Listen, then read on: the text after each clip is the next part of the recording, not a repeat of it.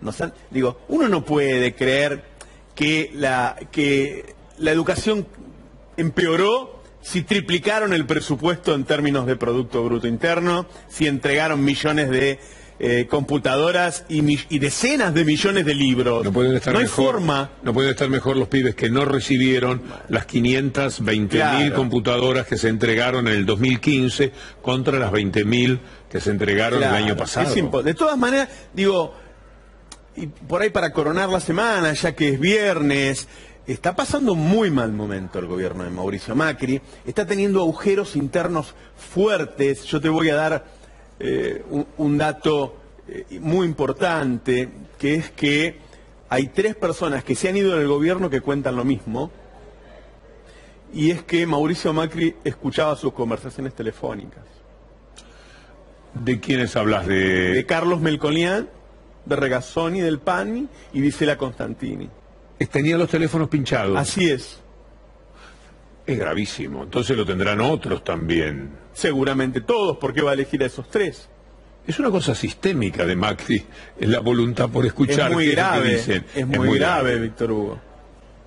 Eh, Es que escucha la oposición, digo, acá se normalizó y te pasan los audios de la oposición y se analizan los audios. En Estados Unidos cayó un presidente por escuchar a la oposición.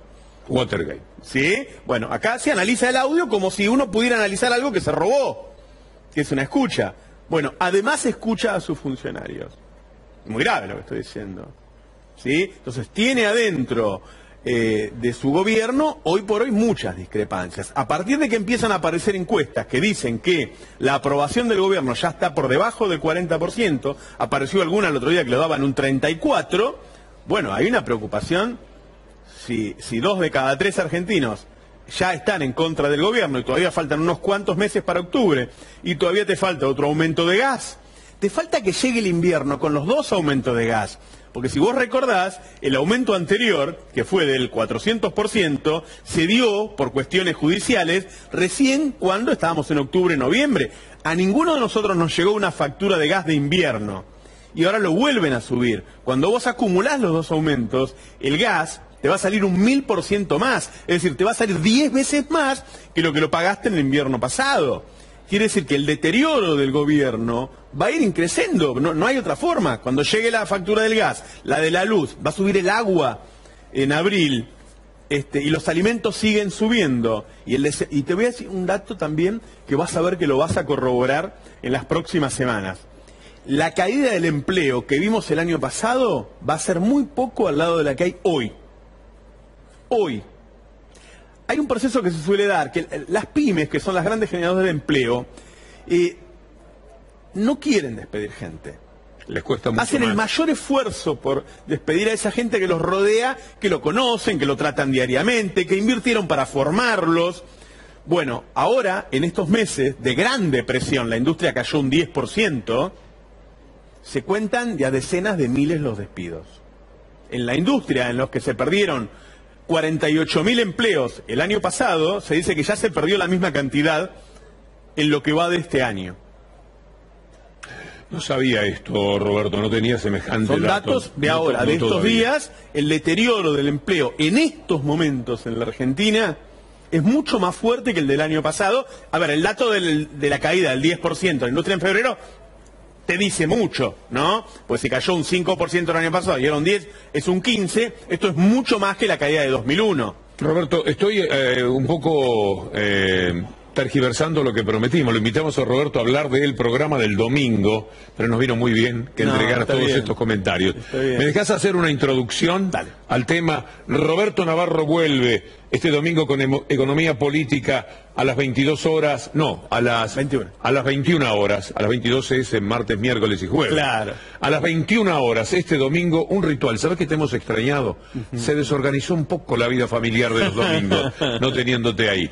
Así que hagamos esta presentación de lo que viene el domingo.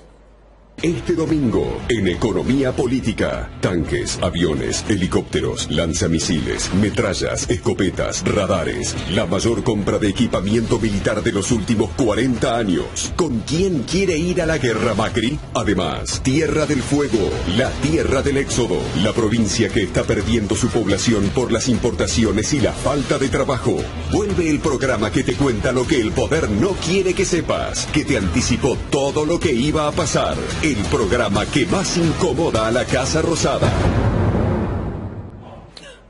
Pero además estoy eh, convencido por lo que me han dicho que va a haber algo más. Uno tiene un cierto pudor con los profesionales porque después se le puede escapar algo. Entonces uno le pregunta a Roberto qué hay para el domingo. Pero sí le pregunto a los muchachos de producción cómo están para el domingo.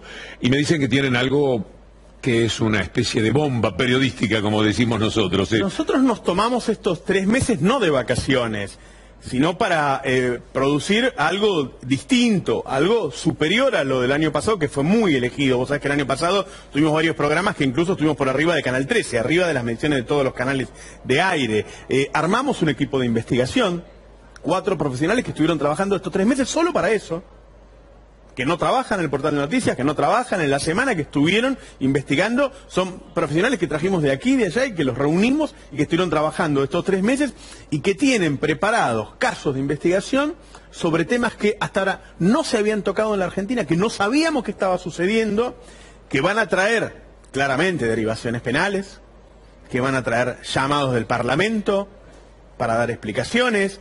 Eh, lo que hizo el gobierno durante el año pasado y en estos tres meses es mucho peor que lo que sabemos. Es mucho más fuerte que lo que sabemos, es mucho más antidemocrático de lo que sabemos, es mucho, tiene un nivel de corrupción muy superior al que conocíamos.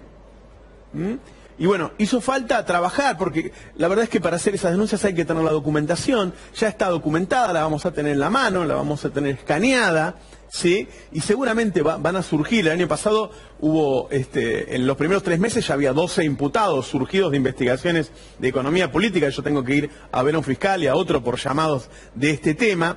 Eh, te voy a agregar algo, eh, va a haber mucho humor este año. Sí, me dijeron que incorporás, eso también creo saber. Como hay muchas malas noticias, incorporamos a dos humoristas más que trabajan en conjunto con el cadete y que, son maravillosos, un, actor y un músico, nuestro imitador Pesky, que van a sorprender con un... El cadete es algo muy moderno que salió a sorprender en la televisión argentina. Un fenómeno. Y que hoy es un, productor, ¿no? Eh, absolutamente original los otros también lo son, va a haber mucho humor, va a haber un cierre musical. Sí, pero además es un humor que viene desde la inteligencia, que eso es lo que increíblemente... Y que dice algo, ¿no? Sí. Y que dice algo. El, cadete tampoco es neutral. sí, este, claramente, claramente. Habla, habla desde un lugar y, y bueno, sí, el humor que hay en economía política es político. ¿Te parece un buen momento para incorporar a Gustavo Silvestre? Pero claro, eh, nos vimos con Gustavo, ¿eh? Nos vimos que estaba en la marcha. Gustavo, buenas noches. Buenas noches, Víctor Hugo. Buenas noches, Roberto. Efectivamente, nos cruzamos hoy en la marcha, que fue realmente algo emocionante ver, sobre todo a mí lo que me emocionó mucho, las familias, familias enteras. Eh, yo fui, vine, recorrí, anduve, eh, fui por la vía más, yo volvía por la diagonal, y la verdad que fue emocionante las familias enteras, que hoy ha sido un sentir multitudinario de un nunca más que era necesario, era muy necesario que hoy especialmente se manifieste no solamente en la ciudad de, en la ciudad de Buenos Aires, sino a lo largo y el ancho de la Argentina, porque me, me comentan que en el interior del país también ha sido algo impresionante la movilización social que hubo hoy. ¿eh? Sí, yo te iba a decir eso. En este momento, en el Monumento de la Bandera, en Rosario, hay una multitud como nunca. Como nunca. Y uno encuentra, a mí me pasó lo mismo que, Gustavo, uno es profesional, pero yo lo viví con mucha emoción, no lo puedo evitar. Eh, uno encuentra una mezcla de cosas. Enojo en mucha gente, muchos momentos de enojo, algunos momentos de tristeza. Y también sí, mucho en la juventud, vivirlo con alegría, hay música. Digo, es muy argentino. Sí, hoy era, era muy emocionante ver, por ejemplo, el Teatro por la Identidad, que habían hecho una, un, lo que se dice habitualmente en los pueblos eh, para los carnavales, un mascarón impresionante, eh, que hacían una representación donde la abuela, una figura eh, magnífica de una abuela con un bastón, y después venía en un momento el nieto y se abrazaban y la gente explotaba.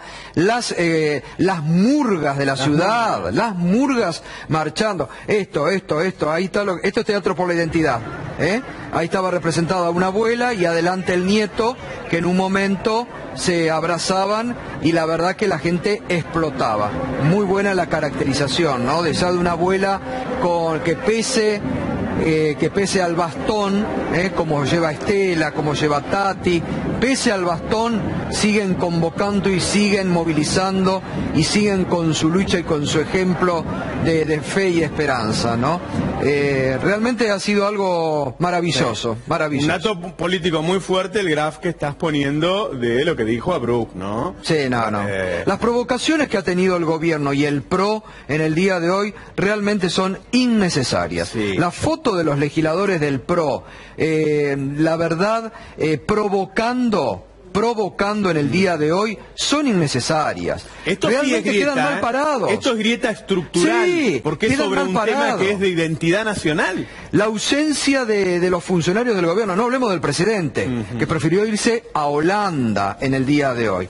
Pero la ausencia oficial del gobierno en alguno de los actos que se hicieron, porque si no querían participar de alguna movilización, eh, podrían haber convocado, no sé, a un acto en la Quinta de Olivos, algo público, ¿no? Solo unas expresiones del presidente en Facebook que no representan nada y la provocación, la provocación eh, de, de los legisladores del PRO, innecesaria. Y la respuesta formidable De la Gustavo, gente. de eh, la voz de Estela de Carlotto cuando habló de los 30.000 presentes, Sí. la respuesta de la multitud Sí, de la plaza estremecía, Sí, fue inolvidable. presentes. Ahí estaban, me imagino, muy cerca de las lágrimas cualquier persona sensible. así es. También la, eh, no sé si ustedes lo pudieron ver, eh, eh, Roberto, Víctor Hugo, también la provocación de innecesaria de Nick hoy que, que puso... eh, ¿A quién copió ahora? No, esto puso hoy. Estado de ánimo, viernes feriado. Bueno, hay que buscar quién hizo ese chiste alguna vez en el pasado, eh, que es de donde normalmente Sí. saca... Pero es provocador. Es Sí, provocador, innecesario en un día. Deci- eh, digamos que eh, no hay que detenerse tal vez en esto, porque la muy bien. inmensa mayoría, la inmensa multitud los sigue cacheteando con la realidad y los pone muy mal, porque yo creo que están tan enojados como mostrábamos esta semana, ¿no?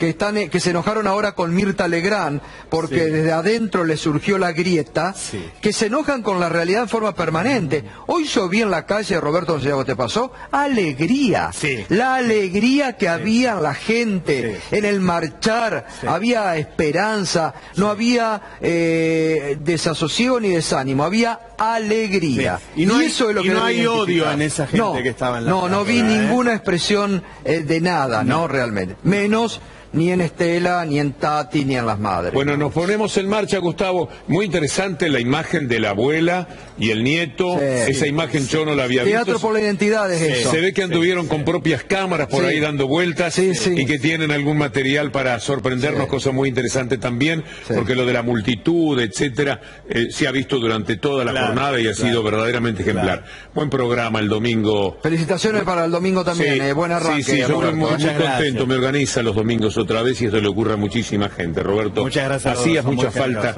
y esto va dicho desde la condición de telespectador y no solamente de amigo y profesional. Y para usted un buen programa Gracias. esta noche, Gustavo, un fuerte abrazo. Abrazo para y nos reencontramos Chao, el lunes si Dios quiere. Gracias, gracias. Señoras y señores, aquí comienza minuto uno en el Día de la Memoria, en el Día Nacional de la Memoria. Hoy más que nunca la realidad. Lo que otros te ocultan, lo que otros han tratado de invisibilizar, durante el día de hoy. La multitud otra vez en las calles en este marco para decir nunca más. Ahí está, mire lo que es. Esta es la respuesta de una sociedad frente a las provocaciones. Pero ni hablemos de eso, no nos detengamos. Ahora lo vamos a recordar. Esto es la multitud de todos los colores, de todos los colores familias completas para expresarse, para decir nunca más y como es nuestro hashtag, por memoria, verdad, justicia, siempre en la Argentina. Por memoria, verdad, justicia, siempre en la Argentina. Realmente fue emocionante, ¿eh? era un desfile permanente, era un entrar y salir de columnas, eh, realmente, reitero, mira lo que es esto. Mira lo que es esto, realmente emocionante. Sí, sí, sí.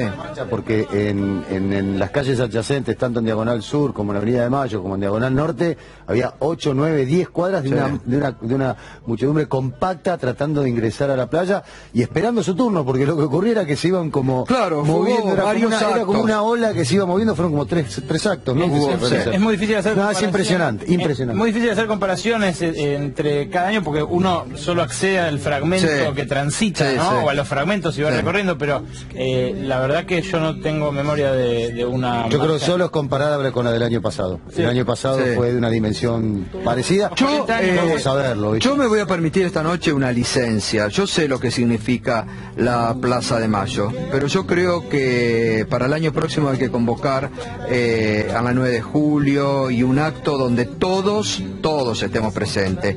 Esto va a ser actos separados, la izquierda por un lado, los organismos defensores de los derechos humanos por otro. La verdad que acá hay un nunca más que es de todo el pueblo argentino y es el grito permanente, ¿no?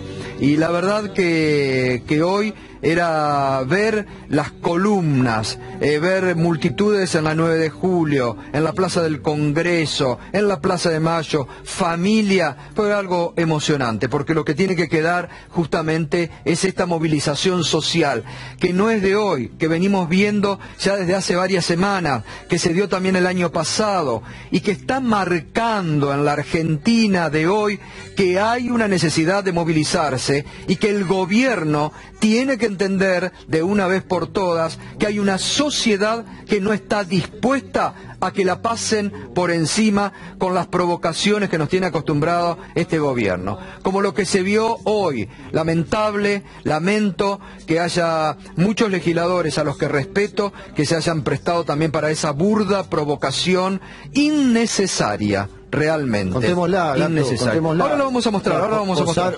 Ahí está. Posaron en el Salón de los Pasos Perdidos del Congreso, el bloque del PRO, creo que también fue el interbloque, había radicales. Los derechos humanos no tienen dueños.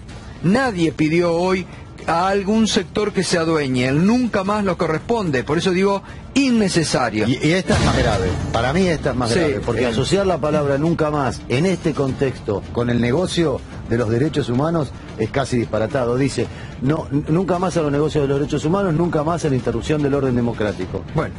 Hoy le respondió muy bien Miriam Bregman, ¿eh? la verdad que estuvo muy lúcida Miriam Bregman, porque Miriam Bregman puso en un tuit, eh, el Estado argentino se tuvo que hacer cargo de las deudas del grupo Macri en algún momento, también decía eso, así que eh, estuvo muy bien la respuesta hoy de, Miriam Bregman.